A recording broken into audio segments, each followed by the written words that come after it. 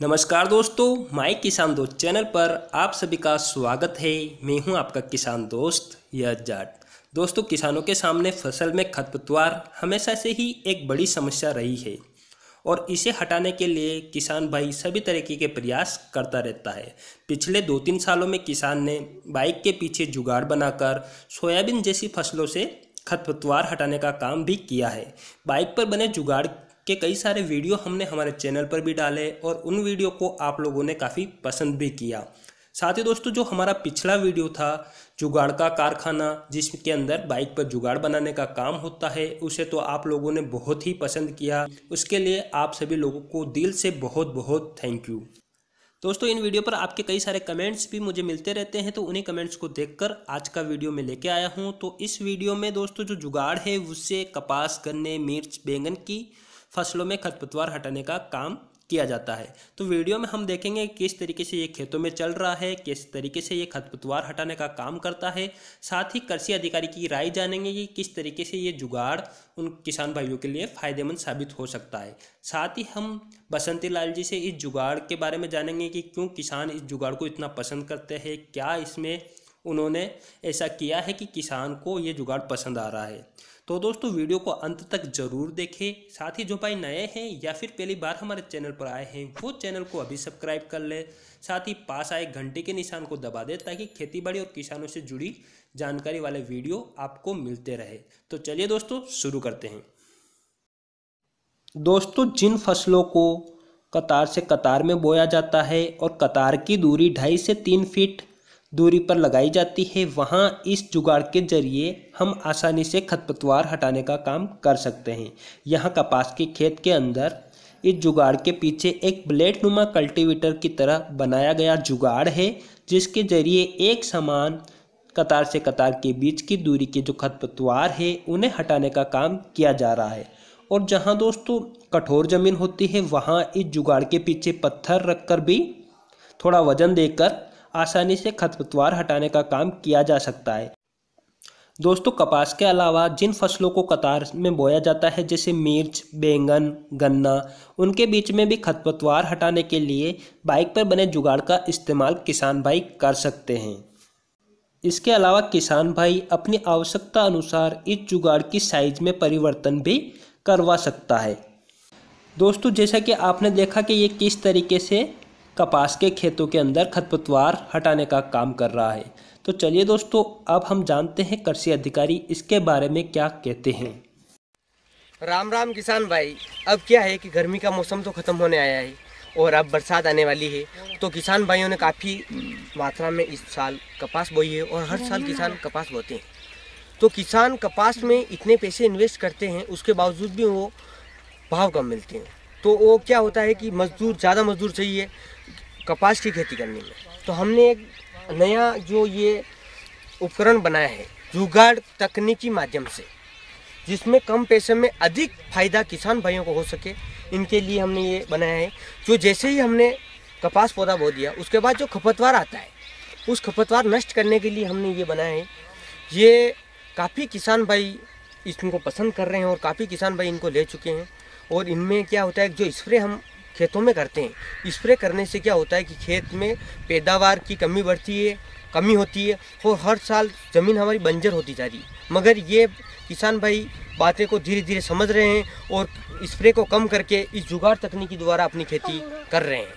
आप इसकी जानकारी, आप कृषि अधिकारी से ले सकते हैं।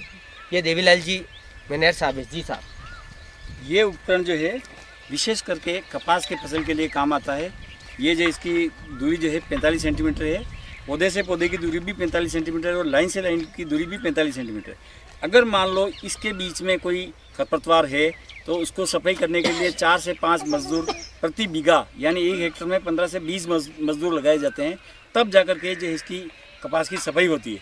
अगर किसान चाहे तो इस उपकरण से मतलब एक हेक्टर में लगभग दो सौ ढाई सौ रुपया हेक्टर के हिसाब से खर्चा करे पेट्रोल का तो इसको चला करके जो है खरपतवारों को साफ़ कर सकते हैं।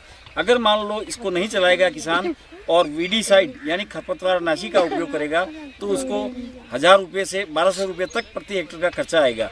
मगर इसके चलाने से ज़मीन भी साफ़ रहेगी, ज़मीन खराब नहीं होगी, पर्यावरण खराब नहीं होगा और इसका जो प्रोडक्ट मार्केट में आएगा वो भी अच्छा होगा क्योंकि जितनी ज़मीन साफ़ सुफ होगी उतना ही प्रोडक्शन ज़्यादा आएगा। यानी कम खर्च में किसान चाहे तो इस उपकरण को अपने घर पे काम लेकर के ये देसी जुगाड़ का बनाया हुआ है। नहीं है जुगाड़ है इससे वो चाहे तो ये मतलब जो है खरपतवार साफ़ सफ़ाई करवा सकता है। बहुत बहुत धन्यवाद देवीलाल जी आपको धन्यवाद। जानकारी दी।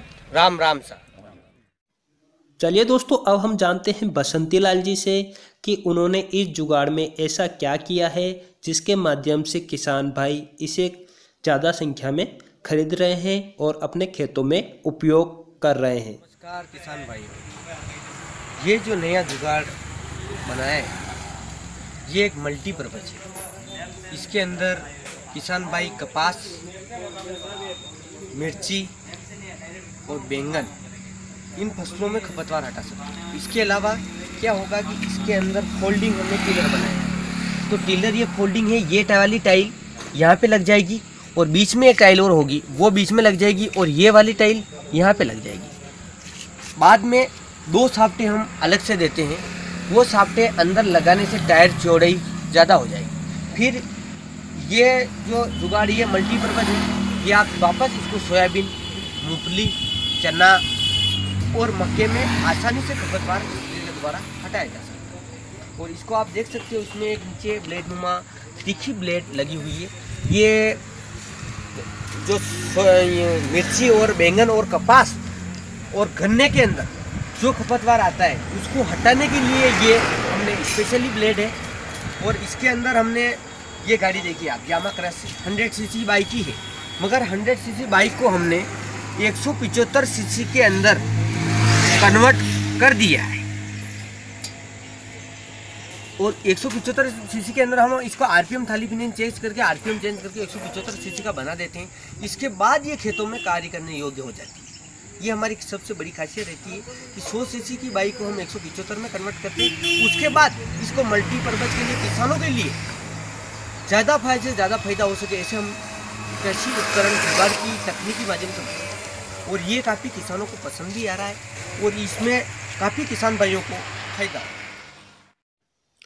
दोस्तों, इस जुगाड़ के बारे में अधिक जानकारी के लिए आप स्क्रीन पर दिए हुए नंबर से बसंती लाल जी से संपर्क कर सकते हैं और उनसे संपर्क करने का जो समय है, वो है शाम सात बजे से लगाकर रात्रि नौ बजे के बीच में आप इनसे बेहतरीन बातचीत कर सकते हैं।